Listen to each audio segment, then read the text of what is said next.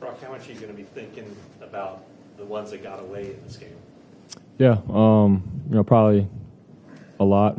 um, but we got you know four days to get ready for this next game. But yeah, um, in my eyes, you know, there's there's a couple opportunities obviously out there that you know I missed um, in in uh, terms of the deep ball and whatnot. So, um, but found a found a way to win. So. Anything specific you can point to for, for why you missed those? Um, nah, it's just you know I just overthrew him. You know, on the one to BA, the one uh, Deebo, and then JJ on that uh, third down.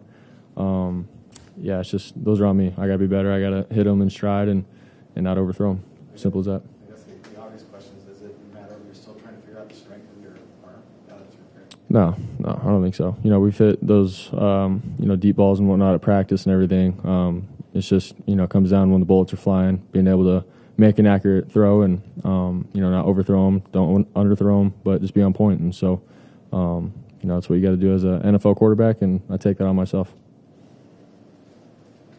I'm sure it's always a point of emphasis to take care of the ball, but in a game like that, division, you know, gritty type of game, does it take on added importance to, to make sure that you're not putting the ball in harm's way?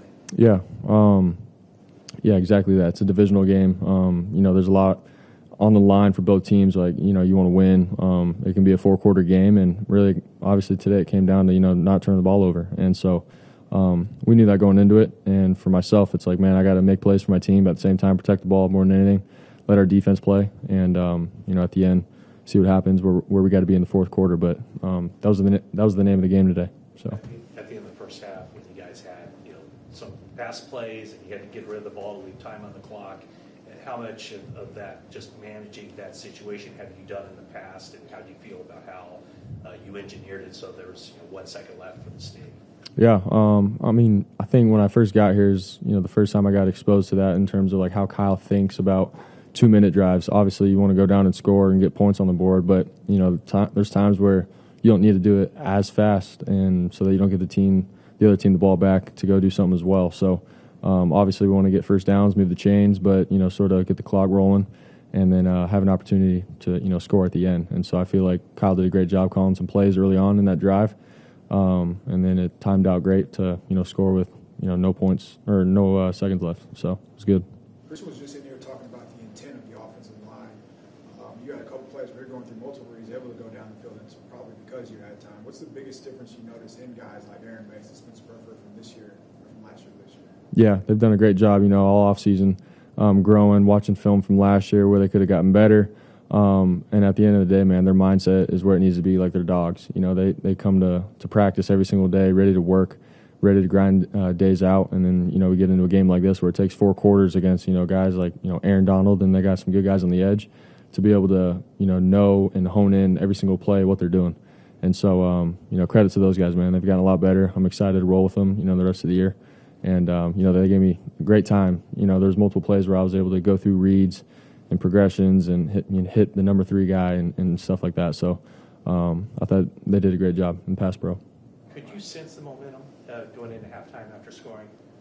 Yeah, hundred percent. You know they go down, score, and then it's like, all right, we got you know two minutes or so left. Um, obviously, we want to score to get some momentum, but once we did and capitalized on it, it was like, okay, defense, you know, go out and um, the first drive, the second half, get stop, offense, let's roll. So everyone felt good about it. Um, but man, it's a team game. You know, defense gets, gets a stop, offense goes and score. Like that's what it's about. So um, you know, going in the second half, that was huge for us to be able to score.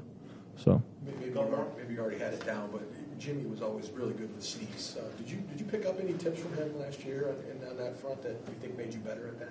I mean, we always you know try to figure it out. Like, what does Jimmy do so good with the QB sneak? Like, it's a question around um, you know the team, and so you know he just you know found little creases and whatnot, but you know got his shoulder uh, shoulder pads down and would find a way. So that was really about it. I don't think there's necessarily a secret to it or anything, at least as far as I know. But um, you know, watching all the we watched a lot of you know QB sneaks and stuff that Jimmy did well and what he did. So um, he did a good job with it, and I learned a couple things, but he never really told me. But yeah, Jimmy always claimed there was a secret. He didn't just he didn't want to tell anybody, so he never even told you.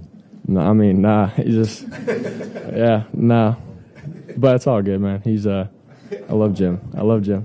Have you gotten better at, uh, you know, not obsessing over mistakes, or do you feel like you probably won't be sticking over for some of throws? I feel like in the game, man, it's you know crucial to be able to move on, and have a clean slate, clean state of mind. Obviously, yeah, learn and all right, if they give me that look again, I got to do this or that better. But um, to dwell on it and and to you know obviously live in the past and beat yourself up on it, then I feel like that can hinder your game moving forward. So there's a fine line. I feel like when the game ends, it's like yeah, be hard on yourself, learn from it, but right then and there in the moment, you gotta you know, find a way to move on and play a clean game.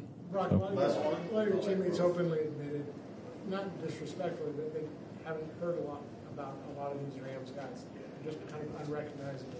Um, At the same time, you guys seem to, you know, to man expect that type of game. Uh, Why, why is that?